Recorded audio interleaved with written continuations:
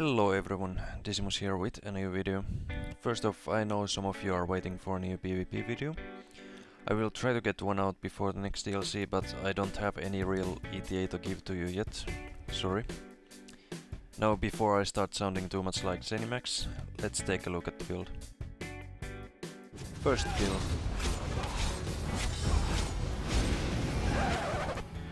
Wait, what? No, no guys, don't spam bush. The proper use of this skill is moving around and setting up for burst damage.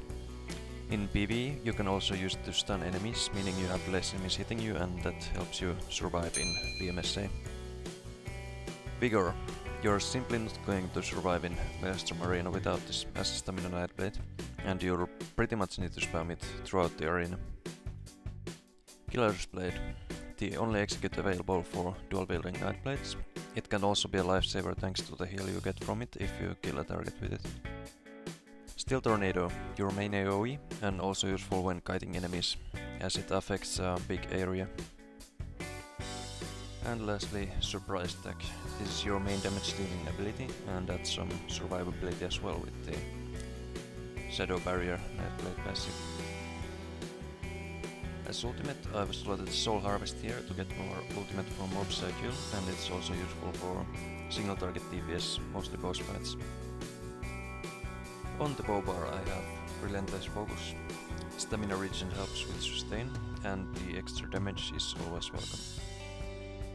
Mirage. Mainly adds some more survivability. If you can figure out how not to die, it could be worth slotting Poison Injection here for boss fights, or maybe Caltrops for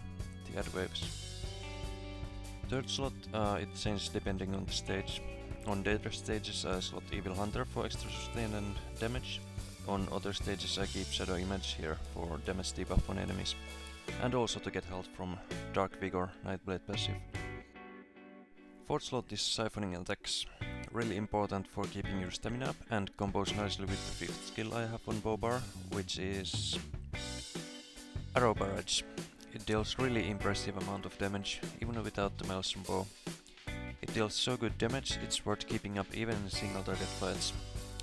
Ticking every half a second, it also combos nicely with siphoning attacks, as well as the Briarheart set, which I'll be talking about later.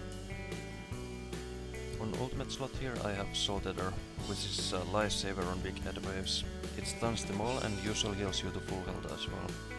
You can use to kind of survive stage 9 Daedroth Fire Breath for example, should you fail to avoid it. So those are the skills I use. On the gear department I have uh, 5 pieces of Twiceborn Star, or TBS. So I did some calculations on this set and uh, it turns out that as long as you don't get any outside buffs from other players and you're getting crit from your other set, wearing 5 pieces of TBS should be better than wearing 5 pieces of Hundings. I'm using the Thief and Shadow Munduses with TBS.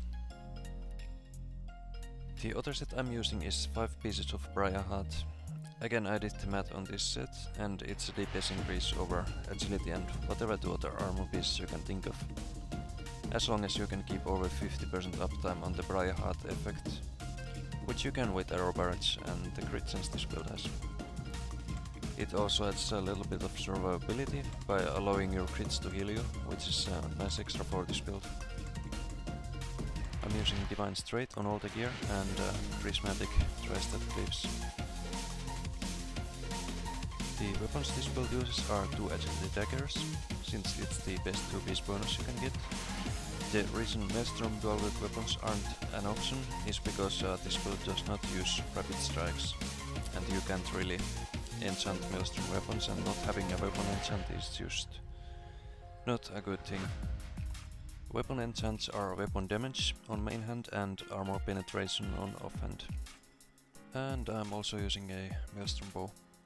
Alright, as food I'm using the health and uh, plus stamina regen food in the arena, simply because running out of stamina and or health are big concerns there.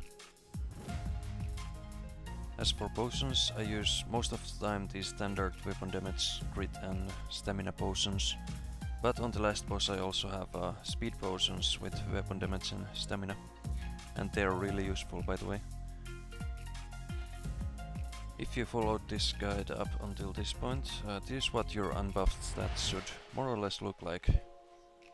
You may notice that the weapon damage is quite low. This is uh, actually just because you haven't procced uh, Briarheart yet. When you proc Briarheart it goes up by a lot more.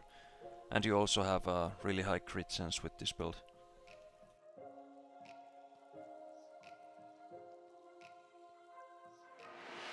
As for champion points, this is how I spend them from the best passive to the worst one.